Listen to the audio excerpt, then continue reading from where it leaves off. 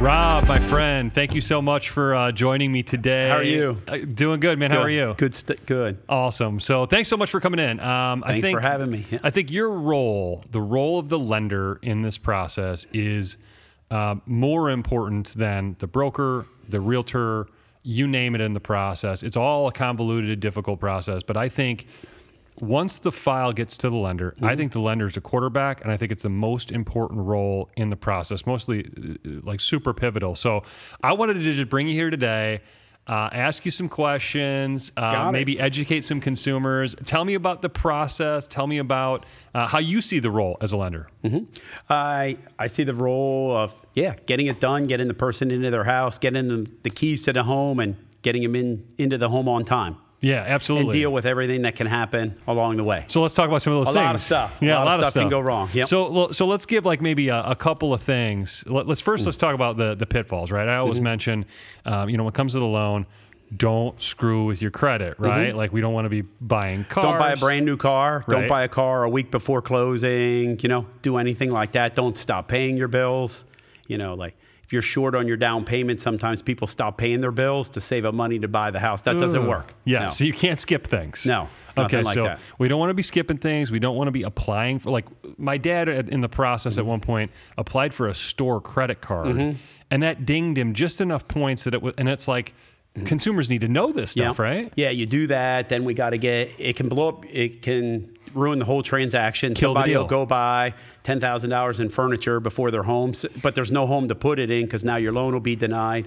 Um, so the big like the big advice on that is check. Check with me, you know, check with, Yes. you know, the loan officer first, you know, because it'll depend on everything. But at the very least, when you do stuff like that, we got to get copies of the, the credits because it won't report to the, uh, the credit bureau yet. It shows as an inquiry. Then we got to get the paperwork on it. Oh, boy. Um, yeah, and then here comes contract extensions and you know all these things. At, And at the very least, gets- it can delay everything. Yeah, So at the very least, Nobody likes that. and it can kill everything too. Kill right? everything, yes. Okay, so we don't want to be messing with our credit. What about assets? yeah. Assets. Um, we got to show where every dollar comes from. Okay. Okay. So it either has to be your funds. You can get a gift from a family member or a relative. Cash can't happen. You know, you just can't have three thousand dollars. You can't have six hundred dollars in cash show up. You can have ten thousand dollars in an account. Yep. Um, you only need seven thousand dollars to close, but if you have, you know, eight hundred dollar cash deposit, 600 hour. we got to document like where it comes from. So nowadays, with So the, you don't want to do that. So if you're even thinking ahead, if you have a whole bunch of money in your mattress, cash, things like that, get it in the bank. Okay, plan ahead, get it in your bank 90 days before closing because we need to see your last two months bank statements. Got and it. they look at everything during that 60 days. So if you did it three bank statements ago, it's not there and it can go right through. So people, but basically, these banks they're documenting everything, right? Like Mm-hmm. Yeah. nobody's missing this, right? Right. You can't pull a fast one Nobody. on anybody, right? Nobody. This Nobody. isn't ten years ago, and nobody can do some crazy loans aren't done anymore, no. right? And if somebody misses it, yeah, an underwriter, it gets they get a material finding, they lose their job if they get so many of those. So yeah, it's not something that just gets overlooked. so we got to keep our assets level. We got to make sure we're not damaging or changing our credit. Right. We're jobs. not skipping bills. we don't want to change jobs. Want to change jobs. That Right. happens. I had that a week before closing. Oh. You know, somebody's making thirty thousand dollars a year. They take a job making thirty eight. They think it's a good thing. You, you know, you definitely Yes. again you want to check before you do something like that. So I think that the the number one thing I really like working with you because you're really good at communicating the process with a consumer, with a buyer or a seller. And it, what's so important to me is that communication process. So it sounds like before you do almost anything in the loan process, mm-hmm. Just check talk to Rob. Just, yeah, just check with me, run Yes. everything by me, you know, and yeah, make sure that's what I do. That's that's my job. You've been, let's talk about that. You've been doing this for a long time. Um, Yeah, yeah, too long? about 25 years. 25 years. Yeah, so you started when you were six. Yeah, yeah, yeah, exactly. Yeah, yeah, four. Yeah. Four, right? Right. But yeah, so that that's what I do. That's my job, my expertise. So yeah, any questions, any doubts, you know, you're not supposed to be the expert, the customer, you know. Right. Check. Check with me. So And, communication and is if you key. do screw and I like if you do screw up something, yeah, like you're not going to be able to hide anything. Right. You think you might, but there's all there's all these systems out there, all these things, and they find all this stuff. Yes. So if something's off, just tell me up front. Yep. You know. Better I- off to, to be yeah, honest. I right? equate it that I'm your attorney, like you know, if uh, representing somebody that might have did something really wrong. You want to tell that person the whole truth, so I know the whole story. And hey, this is what this is how we go about either getting it done now or fixing it for the future, so you can get a home. That's brilliant. So be honest, be upfront. They're going to do an autopsy, right? Mm-hmm. Yeah. They're going to go through the whole scenario. They're going to look at all your credit, all your income, all your bank statements. All, nobody's doing these crazy loans anymore. Mm-hmm. No. Are you seeing that stuff anymore? Not no, happening, right? No, not Right. happening. Good. No, Uh, and, and and don't be uh, like I mean, you have all these things, but it's also not that tough to get a loan. Right. You know, it's not that tough. You Right. know, We don't want- yeah, shouldn't scare yeah, people, Yeah, yeah, right? Don't want to scare, but a lot of things can go wrong. But yeah, if you're you know straightforward upfront, you know, it, they'll close. You know, There you go. Basically, 100 percent of the time. That's awesome. You know, where you won't run into. I don't think I think we've done now a couple dozen deals together. Mm-hmm. You've been our lender here at Trend. We really love working with you. And Oh, I it's love working with you NFM. Lending. Yep. Is, your company? You have a branch. You, you're ranked in the area Yep. as like the top producer. You're like the man, right? Yeah, yeah, yeah. Exciting stuff. I Well, like congrats. Yep, That's all good you. stuff. Um, I think what it boils down to though is like you like what you do and you're Love good it. at it. Love it. And you're really good at it. Yep.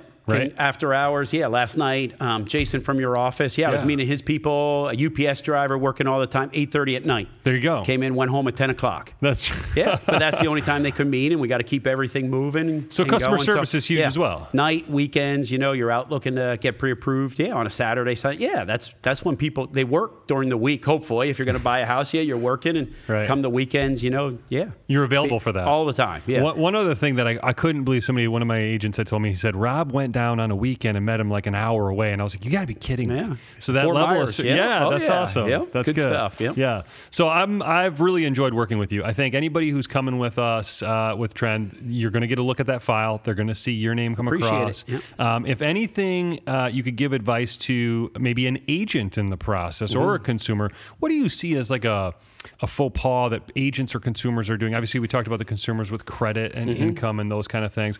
One faux pas I saw a couple times last year was agents were extending contracts but not extending the financing contingency. Mm-hmm. Yes. You Now wanna do that. Now your escrow's at risk, Mm-hmm. right? Yeah, you want to do that to protect, you know, the yeah, you, you want to protect yourself. So usually when you write a contract, say it's a 30-day financing contingency, it's something which means basically if your loan's denied within 30 days or something happens, you get your money back. Well, a lot of these contracts, if they get extended out to 45 days, if you don't extend that financing contingency out, it doesn't close, you don't get your money back. Good point, right? Uh, another thing I've seen happen is um, when somebody's putting a large amount of cash down, right? They're, Mm-hmm. they're maybe they're getting a loan, but they're putting two hundred thousand dollars down, and an appraisal might come in low. Mm-hmm. That doesn't necessarily trigger the financing contingency. No. So in some instances, we want to have an inspection. I'm sorry, a, a um, we want to make sure we have an appraisal contingency as well. Mm-hmm. When do you think that that's applicable? Like, obviously, if you're putting five thousand dollars down and it doesn't appraise by five thousand dollars, the financing contingency is triggered. What do you think is like a rule of thumb when people are putting larger amounts down? Maybe they're conventional. Uh, how often would you see, would you want to see that in a contract? Um, basically, you know, pretty much all the time because you want to protect yourself.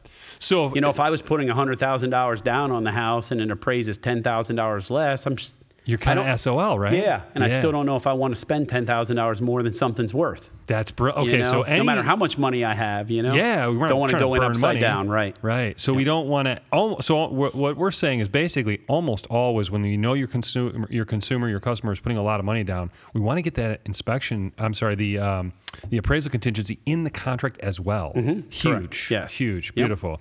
Um, you have a partner that you work with. Yep. Mm-hmm. Um, you guys been doing this forever.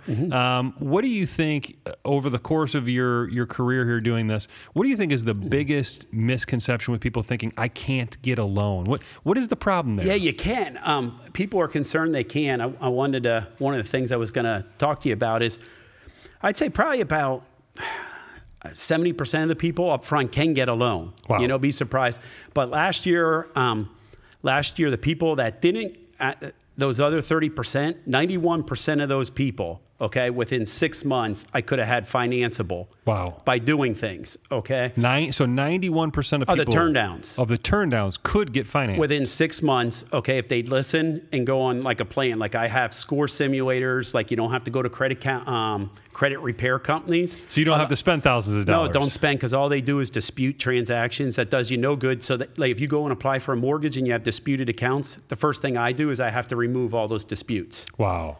Okay, Wow. so that does So you that no doesn't good. help at all. right? And I can do it for free. Score simulators. Hey, if you pay this, if you got two thousand dollars to work with, if you pay this, if you do this, if you do this, you're set. You Awesome. know, hey, I got nine thousand dollars in cash. You know, it's not in the bank. Great, put it in the bank, and we're going to revisit this in April. And a lot of people have that. It's tragic. Oh, I got to wait four months. Well, you know, some if you're 30 years old, you never owned a house in your life. You can Right. wait four more months Yep. and get your house. That's right. You know, so it's not that. Yeah, it's one of those things. It can happen, And it's not It really that big of a deal. It's not. It, it's not a big cost to fix it, and it's not a big deal So, it, so 70% of the people can get a loan. They don't even know. front. Right, And of the 30, you're getting 90 plus percent of people approved. can within six months. Wow, that's yeah, huge. if they want to. So That's yeah, you're talking about a real small. So almost everybody can get approved. Really. Correct. Yes. Tell me a little bit about FHA, VA, some of the other programs you see right now in the marketplace. FHA is a big one. You know, you need three, three and a half percent down. Okay, like on the home, the seller can pay all your closing costs. Boom. Um, yeah, so perfect. You know, you buy a two hundred thousand dollar house, you can get into it for six, seven thousand dollars. Your income tax refund. Now's a great time because the income tax refunds coming. You know, February, March, something like that. That's a great that. idea. Yeah, you, you you get into it at that time, and That's awesome. Yeah, great stuff. And you know, a two hundred thousand dollar. You know, a misconception too is I can't afford it. Sure. Well, what's the cheapest you're going to get a two bedroom apartment for in Sarasota? Oh, thousands of dollars. Yeah. A lot of Even- them are two grand. Yeah, so uh, two hundred thousand dollar house with taxes and insurance, like everything's probably thir- twelve hundred, thirteen hundred dollars a month. Home run. You Yeah. can't rent anything Yeah. around here for yeah. that. Yeah, so, So- call call Trend, have them send you over two hundred thousand dollar listings and compare that to an apartment. So yeah, There you go. And the payment's less. Mm-hmm. That's great. So you're seeing people save money. Obviously, when you're buying a home, you can write off. Oh, well, I'm not a tax Yeah, expert, but right. most people are writing off the interest. principal and interest and the real estate taxes. Boom. Yep. So there's there could be not only a cash flow savings, there's, there could also be an income tax savings there as well. Mm-hmm. Correct. That's awesome. Yep. Good. Um, so other than um, FHA conventional, what about jumbos? You do jumbos Yeah, and that kind of jumbo stuff? loans. Yeah, Awesome. yeah, pretty much. Yeah, same up to yeah three million dollars. You've got all the products. All the products. NFM Yep. does USDA, everything. yeah. If you're going to be um, east of I 75, 100% financing if your credit's good. Wow. You need $500 to buy a house. If you're east of I 75 with USDA. Yep. Wow. Yeah. And- and, seller uh, can pay the closing cost again. So. 500 bucks. Yeah. VA, you do VA loans as uh, well? Yep. Yeah. 100% financing. Like, and those aren't geographically limited. You can anywhere. So you have basically the the total toolkit, what anybody could Mm-hmm. need as far as financing. You have all the loan products. Um, you've educated us a little bit today on the process. Is there anything that you'd like to kind of put out there as um, well? First of all, we're going to put your uh, your email address, your phone number, your website, all that good stuff. Thank so you. Uh, we'll plug you there. Yep. Um, is there anything else you'd like to tell consumers or, or myself as a broker agent? Yeah, one thing, uh, just make sure you don't, if when you're out looking with at homes with your agent, make sure you don't lose your dream home over like a thousand dollars, two thousand dollars. I see it happen a lot. Amen. A really nice house. There's multiple offers coming in, things like this, and somebody wanted to be at two hundred five thousand. Where like if they went two hundred seven, they could have got the house. Um, and for every one thousand dollars you borrow, it costs you about four dollars and seventy cents a month. So maybe So- skip one Starbucks, Right. and so, get the house you yeah, want. so you have a difference of 5000 would be 23 bucks a month and you have these people that are all in love with the house. They've been looking for 6 months. You find your dream home Mm-hmm. and then it's just this back and forth and over a little bit. And I see that happen, you know, 3 4 times a month. especially with rates in the threes and fours. Yeah, right? basically close to um, probably like um, right now FHA between three and a half and three point seven five, depending on your credit scores. That is unbelievable. Right. This is the cheapest money ever, right? Yes. So Yeah, people yeah, need to take near, advantage near of the cheapest ever. Yes. I'm, I've never seen rates in the threes and stuff. No. I mean, this is incredible. It right? is. Yep. Um, so people are out there looking at houses. You do a ton of loans, right? Your Mm-hmm. Yeah. volume is huge. Yep. So have you seen anything in the last couple of years that shocked you? Um, well, after all this time, not too much shocks me. You know, I, I have it all happen, you know, and everything like this. Yeah, heard all the stories, you know, and all that. So yeah, don't ever, yeah, be afraid to come with, come to me with anything. Okay, you know? so you're well versed in the process. We've been working with you now for a little over a year. I can't thank you enough. Mm-hmm. No, you're such a wealth of knowledge. Uh, consumers, we're going to get you Rob's information. Uh, agents, if you haven't worked with Rob, work with him. The process is smooth. He makes it fun. He makes it uh, not stressful. Oh, right? yeah. right.